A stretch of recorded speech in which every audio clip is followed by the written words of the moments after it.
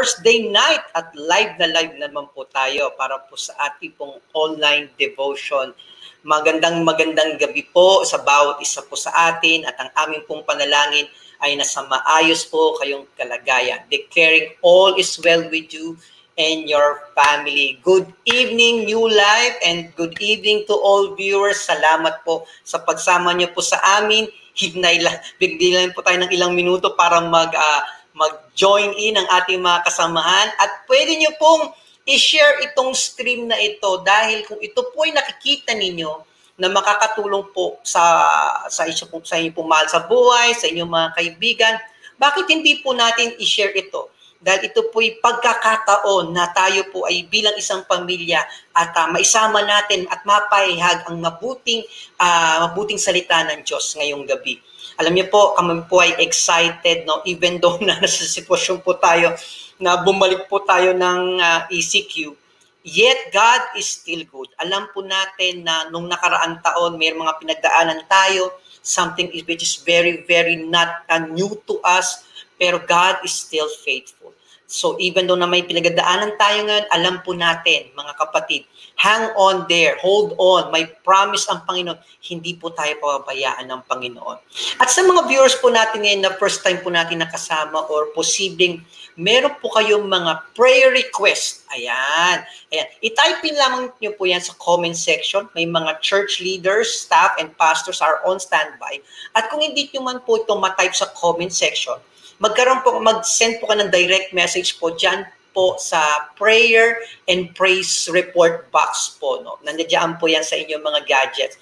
Type nyo lamang po yan and we will make sure na ito pong lahat ng inyong mga prayer requests ay amin pong mababasa at may papanalangin sa mga oras na ito at, at, at very immediate at this moment po. At kung may praise report naman po kayo, mag-type in lamang po kayo dahil ang inyong po mga stories of victories, ang inyong mga stories of breakthroughs, kung ano po mga good report or good uh, testimony, ay gustong-gusto po namin marinig yan dahil gusto namin mag-celebrate po kasama kayo because God is good.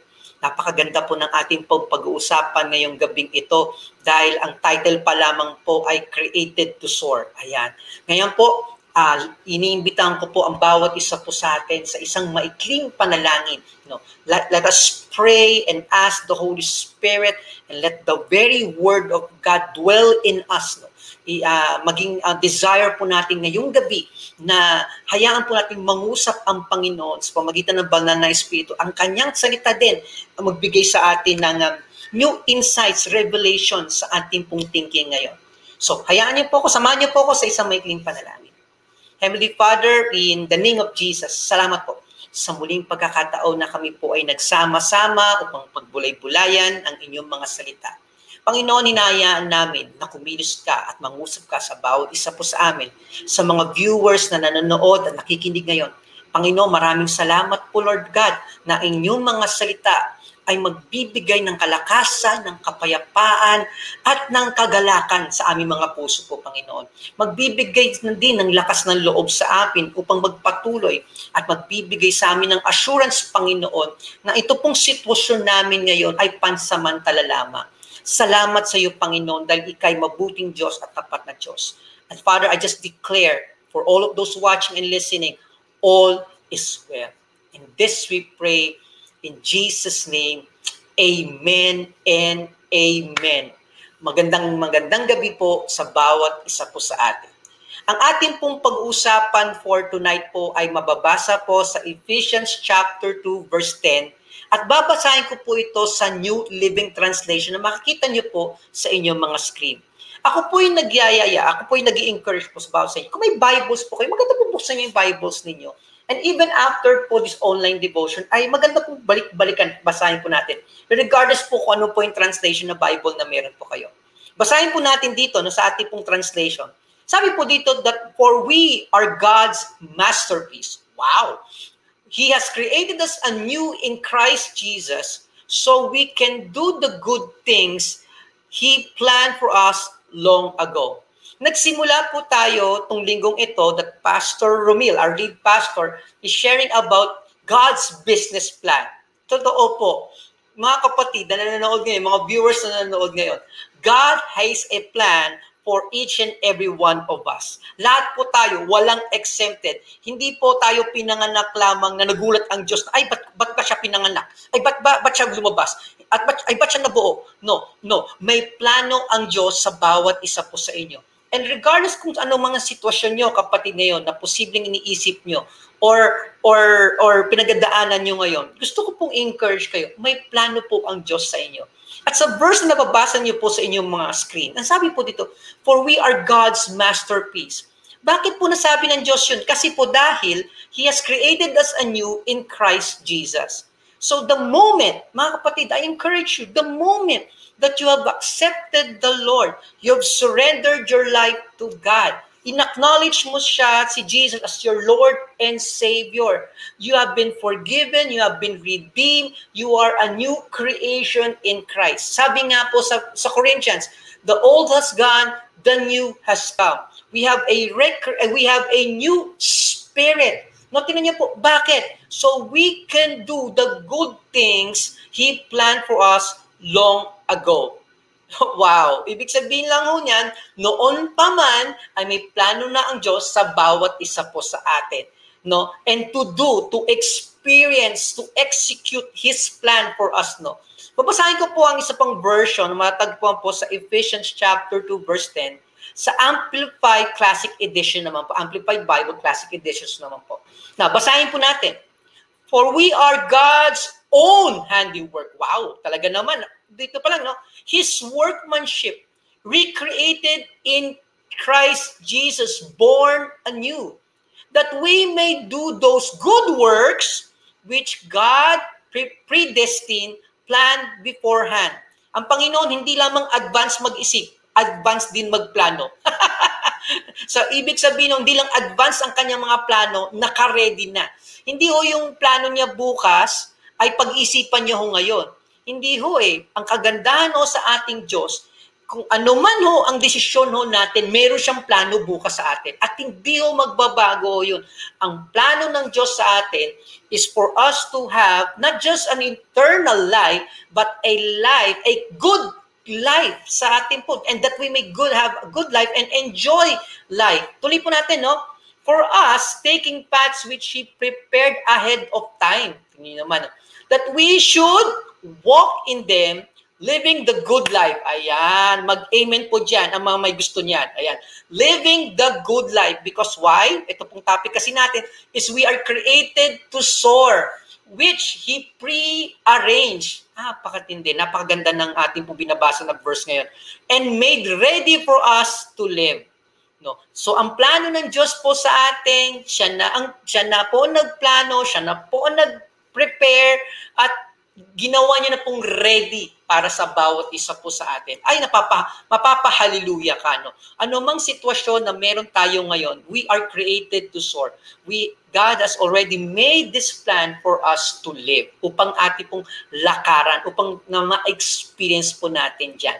Ngayon po, base po sa ating pong article po, sa ating pong devotion ngayon, ito po isang katotohanan.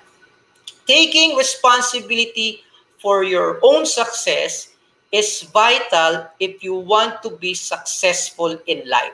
Babasahin ko po ulit. No? Taking responsibility for your own success is vital if you want to be successful in life. And that is very, very true. It is our responsibility. Our success is actually our responsibility. And this is very true. No? Wala pong sino man sa atin ang pinanganak na gustong paghirap sa buhay posibleng pinanganak po tayong mahirap, posibleng uh, medyo salat po tayo sa salapi o posibleng uh, hindi po maganda ang ating kinalakyan o kaya o, o posibleng pinagdaanan po natin ngayon. Pero alam niyo po, it is our responsibility na tayo po ma na gusto natin maging successful ang ating pong buhay. Hindi po kesera-sera na bala na kung anong mangyari, kundi meron tayong responsibilidad sa ating pong buhay if we want to be successful in life, we must be responsible. No, na lahat po ta- so that means we have to be very wise with our choices. We have to be very wise sa ating mga decision making. We should be very wise sa ating pong pagkilo, sa ating pong buhay, kung paano po natin ingatan ito pong buhay na pinagkaloob po sa atin ng Panginoon. At isa pa po sa ating pinag-usapan na created to soar, ay pinag-usapan po natin kung sino rin po tayo. Lahat po tayo, we have gifts and talents. No? Gifts and talents are really God's deposits in our personal account. But we need to determine uh, but we need to determine the interest on them. Ano po ibig ko pong sabihin? Alam niyo po, ang bawat isa po sa atin, mga viewers, no, God has already given us the gifts, the talents, no. Meron po tayong gift, meron po tayong talent, meron po tayong ability na ibinigay po sa atin ng Panginoon upang i-maximize, upang gamitin. At ang nakakalungkot po isipin na minsan no, kung ano yung ginagawa natin ay hindi yung nakalinya talaga kung ano yung giftings ng Panginoon no, sa atin. So that's why kailangan magkaroon tayo ng re-evaluation. Magkaroon tayo ng pagtingin, ng mas malalim na pagtingin sa ating mga sarili. We are created to soar by God. That means we are created for increase. We are created to prosper. We are created not just to live an average life, but we are created for more. At para ma- ma-achieve natin ang success sa buhay or to be successful, ay dapat ay gamitin po natin itong mga gifts, itong mga talents na pinagkaloob po sa atin ng Panginoon. Dahil dahil lang nga eh, example pang bibigay po ako ng ano ng ano yung example kung ano pong meron tayo ngayon di ba ho? We should uh, think out of the box ayan. Ask wisdom for the Holy Spirit from the Holy Spirit for heavenly ideas. Example po no sa mga nagdenegosyo ngayon di ho ba nakapansin-pansin ho no sa ito po makaka-relate po kayo dito at mapapansin ho ninyo ang ang nakakalungkot to sa isang sa kulturan uh, wag naman natin sa sana nga hindi na maging kultura kasi pag sinabi kultura ay eh, ganun na nga lang ho. pero nakakalungkot tong isipin na kapansin-pansin sa isang kalye kapag isa hong tindahan nagbukas ang isang nagkaroon ng sari-sari store alam niyo wala pang isang linggo dalawang linggo wala pang isang buwan meron naman magbubukas sa sari-sari store tapos hindi lang ho yun but wait there's more. Katapat nung sari-sari store na yun, I mean, sari-sari store yung magbubukas. Tapos ho noon, sunod-sunod na ho yun. So sa isang kayat, napakadami na pong sari-sari store. Ibig sabihin noon, noon, uh, nagkumopya na ng kumopya ng kumopya. Di ho ba? So my encouragement, pero pag naintindihan ho natin that we have gifts, we have talents, that God created us, God has designed us, na to increase uh, uh, to increase at meron tayong creativity, meron tayong gifts, meron tayong um, meron tayong ideas na nagagaling heavenly wisdom na nagagaling sa kanya, God-given ideas na nagagaling sa kanya. We will not just think of the average. Eh. Ano po yung pag sinabi ko pong average? Yung basta kopyahin mo na lang. Eh dahil ito yung kumikita, eh di gawin mo na. Di ho ba? Eh ang tanong, ito bang ito bang oportunidad nito ay nakalinya sa talento mo. Ito pong oportunidad nito ay nakalinya kung ano ang kaya mong gawin o kayang ng isipan mo, 'di ba ho? So kailangan natin ma, kailangan ng and and for those who are in business of today, 'di ba? Ha, talagang we have to be thinking out of the box, di ho ba? Na, na as wisdom, heavenly ideas, think think out of the ordinary. Don't just copy and expect to make a difference, no? Ibig sabihin nun yan, ano nga ba ang iba, kaiba natin sa iba? Eh kung yung produkto nila, eh produkto rin natin, di ba? So, we are created to soar. Embrace who you are and what you can do. Mga kapatid, you, we are created uniquely, di ba? Ang, ang gandang pagbulay-bulay no, no ating po mga fingerprints, ang ating po mga ang mga fingerprints, wala hong katulad niya sa mundong ito. Tanging ikaw lang, tanging ikaw lang ang merong fingerprint na yan. Walang kaparehas. Just to imagine how God created you and me, bawat isa sa atin, uniquely, walang katulad mo. So kung walang katulad mo, you can think of something which is hindi katulad sa iba. Di ba ho? Pwede nating improve, pero ibig sabihin nun yan, if we're going to think, no, pagbulay-bulay natin sa get, mga kapatid, kakaiba ka. Diba? Ako kakaiba. O, siguro yung salitang yun, kakaiba ho tayo. Hindi ho tayo basta-basta. Hindi ho lang tayo basta ordinaryo. Kumbaga, when we accepted the Lord Jesus Christ, God made us extraordinary. Because why? We have wisdom na nanggagaling sa Panginoon. Meron tayong gabay na nanggagaling sa Panginoon. And our Heavenly Father is our source. Di ho ba? Hindi ho tayo nakadepende kung may darating bang customer, may bibili. Hindi ho. God is our source. God will make a way. God will bring, will, will show us ways of how we can produce, how we can be productive, how can we serve the people. No. We as believers, as an entrepreneurial spirit, alam niyo po ba na tayo mga believers, eh meron po tayong entrepreneurial spirit Di ho ba? Ano nga bang isang pagiging entrepreneur, di ba? Ang pagiging entrepreneur, iba ho yan kasi sa mga nasa business, ano eh, nasa business or manager eh. Ang entrepreneur po kasi, ano yan, hindi ho, hindi ho tumitigil yan ng kakaisip, finding ways, creating ways, making ways, or being the way to address people's needs or, or bringing solutions, no? Pero as believers, tayo ho, if we understand that we are created to soar, we are also have we also have this entrepreneurial spirit. Magbibigay po ako ng mga ilang halimbawa sa buhay po nating Panginoong Yeso Kristo. In how many ways si Jesus nagpagaling ng mga lumapit sa kanya ng bulag? Alam niyo po, ang, ang Panginoon talaga may ano eh, entrepreneur din eh.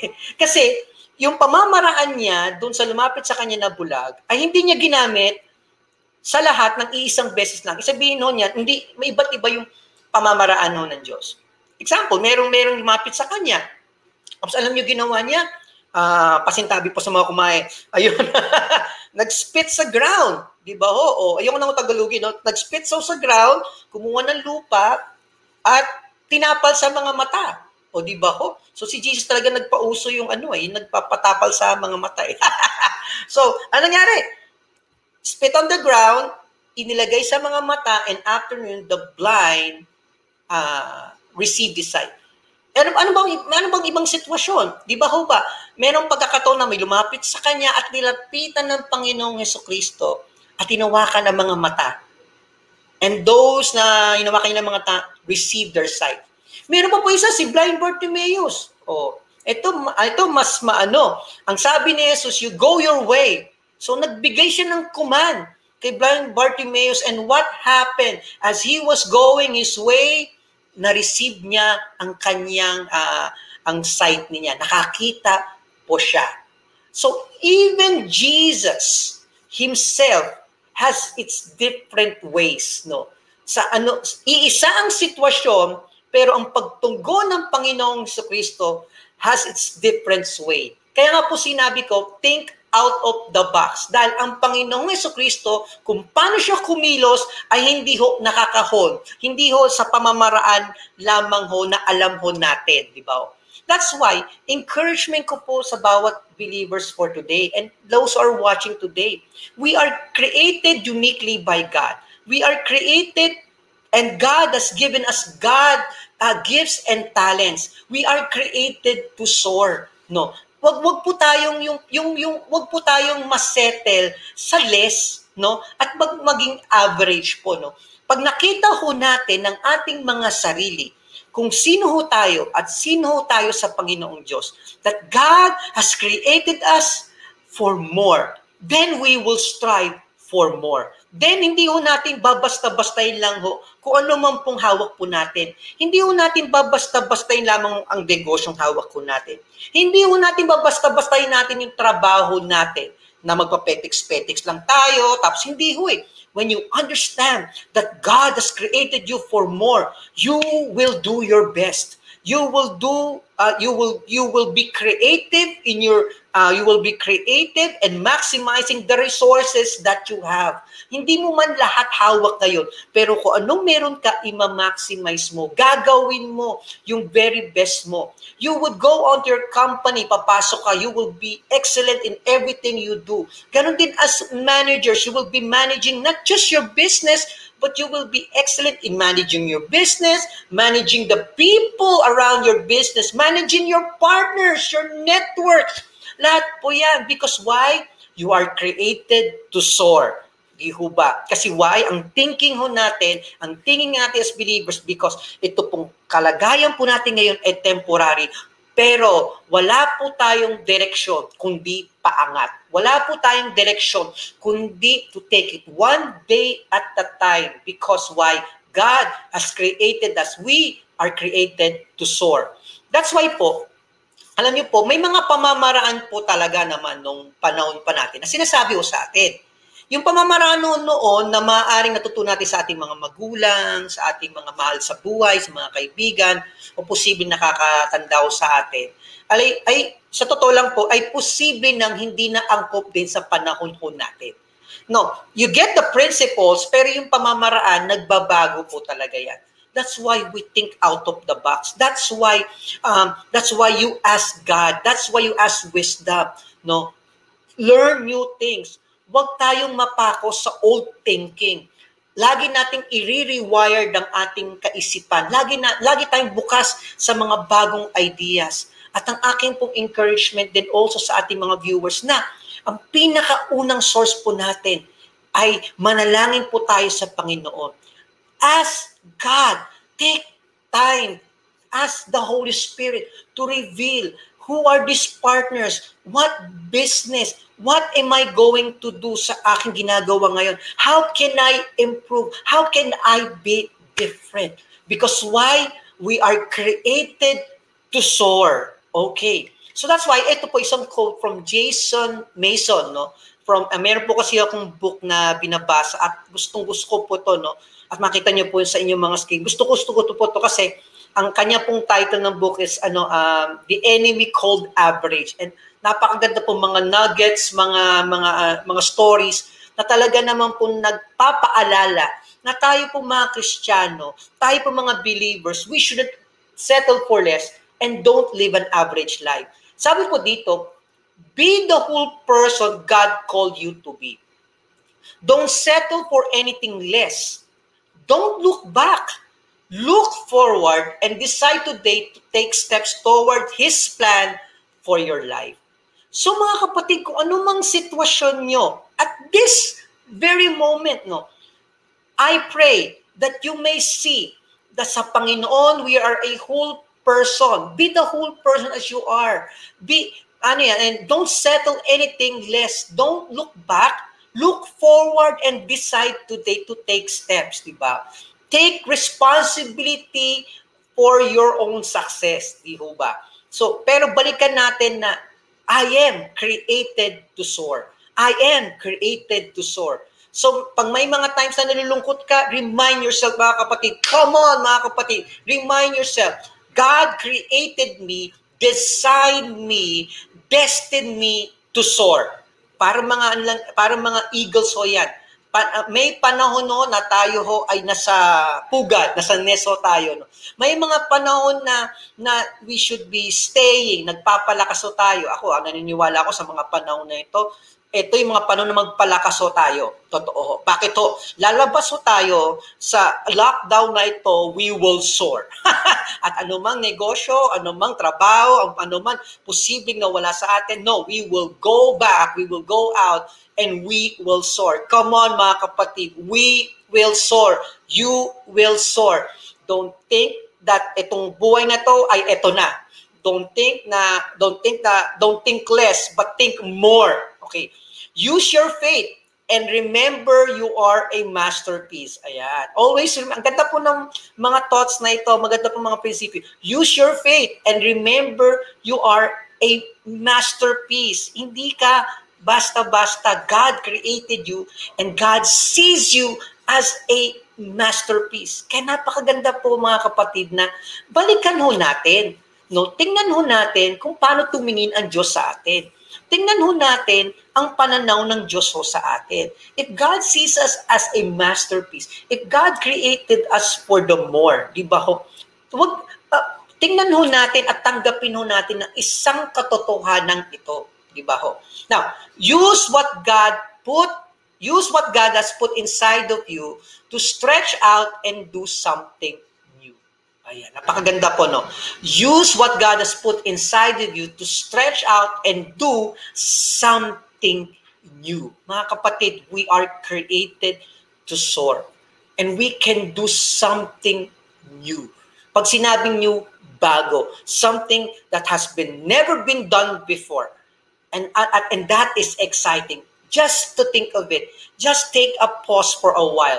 Just meditate on this, mga kapatid God has created us to soar and we can do something new, something which has never done before. And God is ready to use you. Kung open ka lang kapatid, kung tanggapin mo ang katotohanan that you, God has created you uniquely, fearfully and wonderfully made. Hindi ka basta-basta. You have the gifts, you have the abilities, you have the talent, and you have the grace of God to pursue, to persevere, to continue, to be productive, to be creative in whatever you do.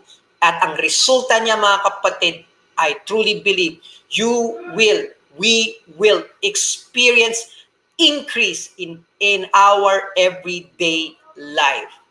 So my question for all of us today, at magandang pagbulay-bulayan, now that we know na tayo ay created to soar, na tayo ngayon ay uniquely designed and destined by God to soar, do you have faith to create a new path? Ah, yan ang maganda. Do you have faith to create a new path? Gusto ko pong ipanalangin ng bawat isa po sa bawat uh, bawat isa po sa ating ngayon nanonood. Uh, whatever situation that you are in at mga kalagayan po ninyo ngayon. Let these truths um, not just inform you, no, pero let these truths be a revelation to us. Panghawakan niyo po na anumang sitwasyon ng ating pong pinagdaanan ngayon, we are created to soar and we will soar. And just like eagles, mga kapatid, eagles soar above the storm. They don't go through the storm, they soar above the storm. No. At malalagpasan at malalagpasan po natin ito. Because why? Again, mga kapatid, all of us those who are new in Christ Jesus are created to soar. Gusto ko po ipanalangin, if you are watching this for the very first time, and you haven't received your Lord, uh, the Lord Jesus Christ into your heart, God has a plan for you. At, at, and God wants to elevate you from wherever you are. God doesn't want you to stay there. God wants you to live a life and enjoy life. Accept Jesus Christ today. Don't forget the opportunity na tanggapin ang Panginoong Heso Kristo sa iyong buhay. Tanggapin mo siya, kapatid. Uh, uh, receive Him as your Lord and Savior. Repent. And, and let me tell you, sa mga susunod na araw, you will see and you will experience the life of God na niready niya para sa iyo. Manalangin po tayo, manalangin po tayo. Heavenly Father, in the name of Jesus, I pray. Salamat po muli sa pagkakataong ito, Panginoon, for reminding us of who we are. Salamat po sa mga kapatiran ko ngayon, to our viewers today that are watching, that God, that they may look to themselves, creation to soar, that they may see, that they may know and they may understand and grasp the truth that we as your children you are you, you have designed us you have destined us to prosper to increase to soar in this life father maraming maraming salamat po Panginoong Yesu Kristo na ibinigay mo ang iyong kaisang-isang anak dahil ang plano mo sa bawat isa po sa amin ay mamuhay na may kapayapaan, may kagalakan, may kalakasan na nanggagaling sa iyo. Pagpalain niyo po ang lahat ng nanonood ngayon. Pagpalain niyo po ang lahat ng nakikinig ngayon. At maraming maraming salamat sa iyo, Panginoong Heso Kristo, dahil kayo po ang magiging lakas po namin sa pang-araw-araw po namin buhay. Thank you, Father God, that we will continue to soar in this life. In this we pray in Jesus' name. Amen and Amen. Muli po, magandang magandang gabi po sa bawat isa po sa atin. Maraming maraming salamat po sa pagsama niyo po sa amin. At for any announcements po, ay manatiling nakatutok lamang po dito po sa ating page. Good night and God bless you all. This week at New Life Tanza Online. Got any questions after hearing this week's message? Let's get them answered on Roundtable, Mondays at 8 p.m. Send in your questions via the comment section or direct message. You can also be part of our online devotion as we study the Word of God together from Tuesday till Thursday at 8 p.m. And of course, let's celebrate and fill our days with His praise on our Praise Break every Friday at 8 p.m. Catch all these weekly programs on our Facebook page at New Life Tanza and YouTube channel at New Life Tanza Official. If you want to get deeper in your faith and in your knowledge about the Bible, we invite you to join our journey classes every Sunday at 3 p.m. through our Facebook group Let Us Journey Together. The Book of Acts on Speak Life is now available on Spotify at New Life Tanza. Make sure to share it with your friends and loved ones and listen in as we hear the Word of God. Calling out all the ladies for a night of fun and conversation on Hello Sis every Friday at 7 p.m. via Facebook at Virtuous Ministry. We are inviting all children on their weekly habit on Kids Jam Online every Saturday, 10 a.m. through our Children's Ministry page at Little Giants. Our generational gatherings continues via Zoom. Follow their social media accounts to know how you can join the meetings. See you there! We always look forward to see you on Sundays, whether on-site or online. Catch our morning service at 9 a.m. and our evening service at 5 p.m. All services are simulcast over New Life Tanza on Facebook and New Life Tanza Official on YouTube. Please take note that you will need to register if you wish to join our on-site services. We continue to make Jesus known and together we will be stronger. See you online this week!